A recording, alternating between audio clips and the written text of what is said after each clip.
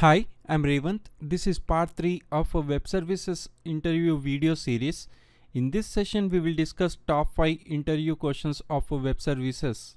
So let's begin the tutorial. So first question, what is web service endpoint? A web service endpoint is a web address. Generally we term as a URL, Uniform Resource Locator at which clients of a specific service can gain access to it. By referencing that URL, clients can get to operations provided by that service. So when we look at this picture, client can be able to communicate with the web service through this endpoint. A client application can have multiple endpoints depending upon the endpoint it will connect to that particular web service. Second question what is ABC in web service? Web service which contains endpoint. Endpoint means address, binding, contract. This address means URL of the web service to connect. Binding means specifies how a web service is accessible through HTTP protocol or TCP protocol, named pipeline and MSMQ and different uh, protocols we use. Generally the bindings will be specified as basic HTTP binding, net HTTP binding or net TCP binding etc. Contract. Contract means a contract should be an interface or web service class name. Next question. Difference between a website and a web service. A website serves the user HTML typically to be interpreted and displayed in a web browser to a human user.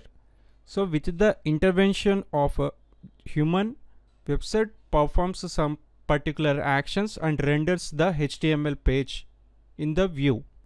A web service can respond in many different ways serving data in a text, XML or even an empty response.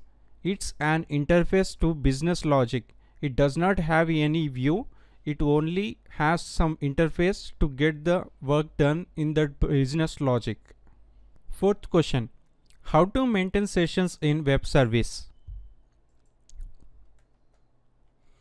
A web method attribute enables session property enables you to enable session state for a web method. So by making enable session property to true in the web method attribute that enables the session state in web service. Steps to enable the sessions programmatically explained in web service video series. For references visit this link. Next question Fifth question. How web service throws exception by default without handling?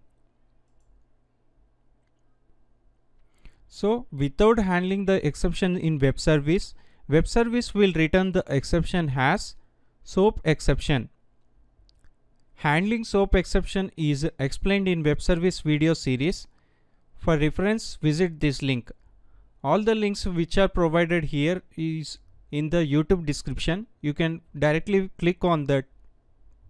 Thanks for watching the video. Please subscribe to my YouTube channel. For any queries and support contact .NET at the rate of gmail.com.